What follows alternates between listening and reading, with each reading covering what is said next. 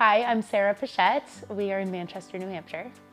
We love the sun. We're big believers in renewable, renewable energy and think it's a great investment. Um, so electricity costs here in Manchester have skyrocketed. We actually doubled um, last August. And thankfully we're already committed to, to getting solar.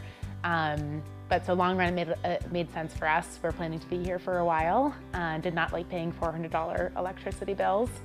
Um, and we love to be running off the sun. So I actually work in um, at a firm that we sell all sustainable investments. So I'm lucky that I have a little bit of insight into it, but we've learned a lot throughout the process too. Um, so between you know personal values uh, and uh, fiscal values, I guess, it was a really good decision for us. Had been familiar with ReVision somewhat through NHBSR and then got to know Chris and it made, like I said, made a lot of sense. It was something that we wanted to do and just had to make sure the numbers worked. Um, and they did, thankfully. So here we are. Well, it's critical, right, with uh, climate change, um, you know, what we call in, in my firm sort of disruptors. So we believe that our economy is transitioning to being more sustainable out of need because of things like climate change, but also things like consumer preference and um, you know technology advancements.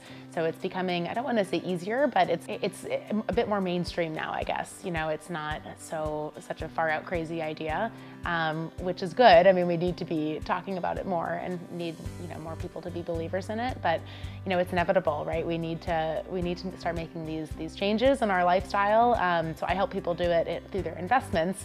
Um, but personally, you know, we've made a lot of changes in our lifestyle as well, one of them being solar, um, but just trying to be less wasteful in general. So we're trying to, you know, to walk the talk. So borrowing has become more expensive. I mean, still it's, you know, I guess it depends the type of loan that you're taking out, but it still makes a lot of sense. I mean, a lot of times you can lock in rates when you're borrowing. And so while we might still be in a rising rate environment, you know, you can, you can lock in rates for long term.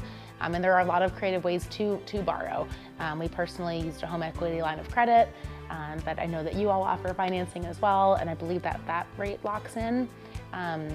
But I like to be in control of my finances and you're not in control, you know, when you're paying, when you're subject to rate increases. And so we saw, you know, the first inc increase in a while in New Hampshire last August um, of 22, but you know, it's, it could go up and, and I, I, sort of think it may again. And so I like that I'm now in control of it. It certainly is a long-term investment. I sort of equate it to you know, to like renting an apartment versus buying a home, right? So we are, you know, we will own or we do own our solar panels um, and we'll probably break even within five to seven years. The tax incentives are huge.